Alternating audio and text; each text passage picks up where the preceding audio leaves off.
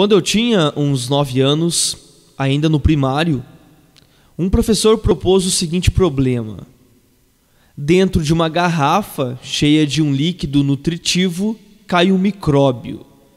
O micróbio se alimenta, cresce e se divide em dois. Os dois se alimentam, crescem e, por sua vez, se dividem, dando origem a quatro micróbios. Verificamos que o número de micróbios duplica de minuto em minuto. Sabemos que o primeiro micróbio caiu na garrafa à meia-noite e que a garrafa chegou a se encher pela metade de micróbios em quatro horas, ou seja, ela está pela metade às quatro horas da manhã. A que horas ela estará totalmente cheia?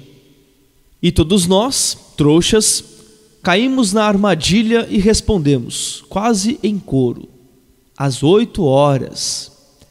Com muita paciência, o professor nos explicou que, se o número de micróbios duplicava a cada minuto, em apenas mais um minuto a garrafa, que já estava pela metade, iria se encher completamente. A resposta correta, portanto, seria às quatro horas e um minuto. Nesse momento, senti a saudável sensação de ser um verdadeiro tonto. Sensação essa que se repetia frequentemente ao longo de minha experiência. O episódio, porém, teria sido totalmente esquecido se muitos anos mais tarde eu não tivesse lido um artigo escrito por alguém que, com certeza, conhecia a história dos micróbios. Em resumo, a história começava com a garrafa pela metade e um micróbio político fazendo um discurso pela rede Ameba. Minhas compatriotas e meus compatriotas, já faz muito tempo, quatro longas horas, para ser exato, que nosso ancestral comum chegou nessa garrafa deserta e, com corajoso espírito pioneiro, a colonizou. Nossa estirpe orgulhosamente cresceu, apesar dos gritos dos estúpidos ambientalistas que ficam bradando contra o que eles denominam crescimento desordenado e dilapidação dos recursos naturais? Será que eles não enxergam que, no decorrer de toda a nossa história, só consumimos a metade do espaço e dos recursos disponíveis? Toda a outra metade está virgem e intocada para as gerações seguintes. Além disso, para calar esses pessimistas, quero dar uma excelente notícia em primeiro pseudótipo do nossa agência espacial enviou algumas sondas para exploração no espaço extragarrafal e descobriu nas vizinhanças seis garrafas idênticas à nossa, completamente desertas e cheias de líquido nutritivo, para os quais já transferimos alguns corajosos colonos. Portanto, se já consumimos o espaço e a comida de apenas meia garrafa em toda a existência de nossa nação, as gerações futuras irão dispor de muitas e muitas eras antes de começar a se preocupar, dando ouvidos a esses chatos dos ambientalistas. Se algum dia nossa garrafa ficar cheia, transferiremos num instante as duas metades da população em duas garrafas virgens. E sob aplausos entusiásticos, nosso personagem desce do palanque sorrindo e acenando para a multidão. E três minutos depois, todos os micróbios de todas as garrafas começam a morrer de fome. Bonita história, você dirá. Mas o que isso tem a ver comigo? Pois é, meu caro e jovem leitora. Você já deve ter ouvido algum professor de história dizendo que devemos estudar o passado para não cometermos os mesmos erros no presente.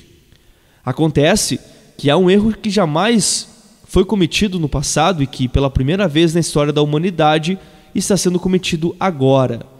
E não foi por falta de aviso. Entre no Google e dê uma pesquisada sobre o tal de Malthus citado no começo desse capítulo.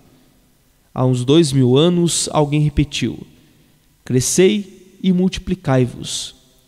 Acontece que, naquela época, toda a população mundial girava em torno de 100 milhões de seres humanos. Apenas 100 milhões. Tente, por favor, imaginar todos os nativos americanos, todos os africanos, europeus, asiáticos, aborígenes, australianos, polinésios, somados perfaziam um pouco mais do que a metade da população do Brasil, que com toda certeza não podemos dizer que esteja abarrotado. Se para cada ser humano daquela época houvesse uns 10 nos dias de hoje, supondo uma racional distribuição de renda, viveríamos todos com conforto, com eletricidade, água encanada, moradia, lazer, trabalho, alimentação. Não haveria fome, miséria, doença, guerras. O conselho multiplicai-vos, porém, foi levado a sério demais, e em vez de multiplicar por 10, multiplicamos por 70. Pois é, meu caro e jovem leitor, o planeta Terra, nossa garrafa que já está quase totalmente cheia, está se degradando aceleradamente. Poluição nos mares, buraco na camada de ozônio, guerras e terrorismo, aquecimento global devido ao efeito estufa, fome, epidemias, miséria generalizada. Apenas 4% da humanidade vive em razoável situação de conforto. E as coisas vão piorar. Duvida? Então ouça a partir desse alerta os discursos dos políticos, todos eles falam em crescimento. Agora, entre no Google e digite Lemingue. Leia o que vier e medite um pouco. Depois de meditar, entre no site da WWF e leia alguns relatórios muito esclarecedores. Todas as escolas, numa falta de originalidade, até benéfica, propõem trabalhos sobre o que é considerado o recurso mais escasso do século XXI, água potável. Na realidade, há tanta água potável no século XXI quanto havia no século XX. O que há é excesso de pessoas querendo beber. O bem verdadeiramente mais escasso do século XXI não é a água, é a inteligência. A humanidade está sendo imbecilizada de cada vez mais os jornalistas que insistem em publicar pesquisas querendo mostrar que as crianças e os jovens de hoje são mais inteligentes que os do passado apenas demonstram que é nos meios de comunicação que o processo de degradação intelectual está avançando mais rapidamente. Meu caro e jovem leitor, o tema deste livro não é a respeito das perfumarias como busca da felicidade, cidadania responsável ou realização profissional. Este livro não é um dos clássicos manuais de autoajuda tão na moda atualmente. Este livro é um manual de sobrevivência. Se você ler este livro até o fim, tentando entender e utilizar os conceitos que nele estão apresentados, talvez não encontre o caminho correto para sua vida profissional, porém, uma coisa eu garanto: vai se tornar, com o passar dos anos, cada vez mais inteligente. Você irá entrar no mercado de trabalho em que cada vez mais gente, cada vez menos necessidade de mão de obra. No momento em que estou escrevendo essas linhas, de cada três desempregados no Brasil, um apenas é um desempregado de verdade, ou seja, alguém que tinha um emprego e o perdeu. Os outros dois jovens, com diploma universitário, que ainda não conseguiram nenhum trabalho porque há máquinas que o substituem com vantagens. Hoje, um chip transponder colado no para-brisa do automóvel, por exemplo, e que funciona 24 horas por dia e 365,25 dias por ano, tira o emprego de quatro jovens que poderiam se revezar numa cabine, hoje vazia, para dar o troco no pedágio. Nesse mundo maluco, que sua geração vai receber como herança, meu caro jovem e leitor, somente irão sobreviver com um mínimo de qualidade de vida os que conseguirem penetrar no mercado de trabalho. E o mercado de trabalho não quer mais diplomas e títulos. O mercado de trabalho quer inteligência, cultura e criatividade. O título deste capítulo é Por que estudar? Pois é, se for para estudar como todo mundo estuda, a resposta para a pergunta do título é: para nada.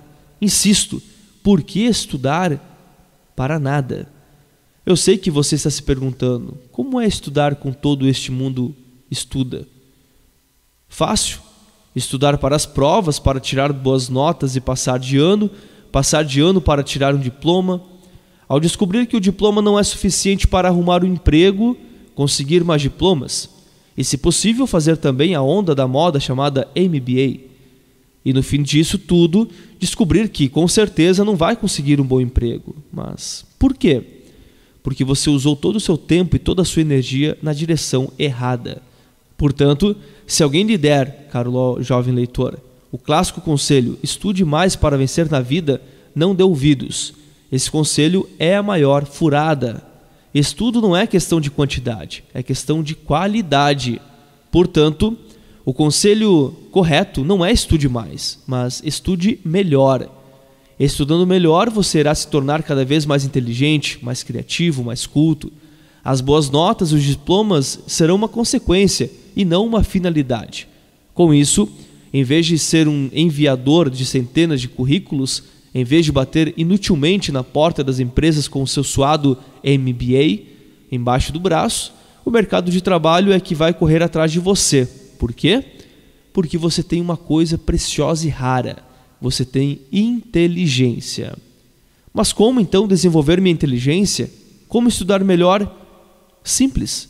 Comece a ler o próximo capítulo e aprenda a usar melhor o computador do mundo, o seu cérebro.